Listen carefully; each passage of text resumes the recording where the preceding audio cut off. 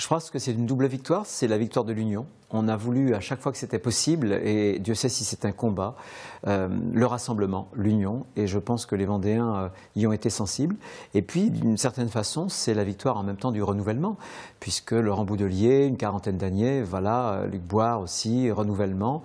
Je pense que ça, c'est aussi intéressant comme message.